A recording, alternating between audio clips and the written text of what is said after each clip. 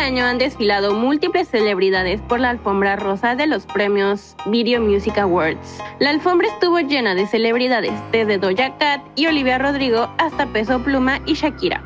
Pero hoy hablaremos de los peores vestidos de la noche, así como los looks más arriesgados.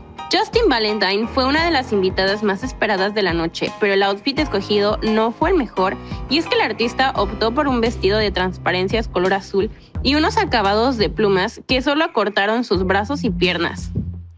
Por otro lado, Saucy Santana no pudo dejar su vasito de Starbucks en ningún lado, así que le tocó posar con él. T.S. Madison, conocida popularmente como Maddie, optó por un total plata llevando un vestido con un corte largo y unas coletas que recogían su melena rizada, acompañado, como no podía ser de otra manera, de exuberantes pulseras. Bebé Rexa, si bien pasó desapercibida por escoger un sencillo vestido, nos dimos cuenta que la sorpresa la dejó para el final, cuando dio la vuelta y enseñó las nalgas al aire, además de una larga cola de pelo que salió de la nada. Prince Derek Doll llegó pisando fuerte la alfombra roja. El cantante posó con un traje de transparencia de color morado con unas mangas colgantes.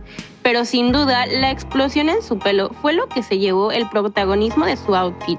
Y ya que la moda de hoy son las transparencias, Tinashi no se quiso quedar atrás, aunque ella sí enseñó más que ninguna.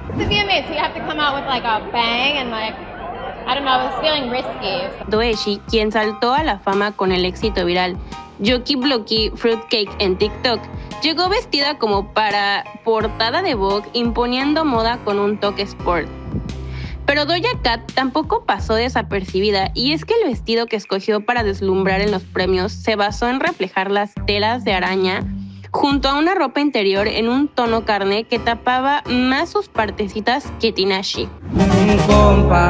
¿Qué le parece esa? Talía, aunque muchos dijeron que la cantante mexicana fue también una de las peores vestidas, lo cierto es que si se hubiese quitado las mangas de su outfit no estaría en esta lista. Finalmente tenemos a la cantautora Keisha Cole, quien llegó a la alfombra con sus pantalones para tienda. Pero bueno, en otros temas te cuento, Carol G ofende sin querer queriendo a Shakira, además de la reacción de Taylor Swift en los Video Music Awards. Así que si te lo perdiste, aquí te lo cuento todo.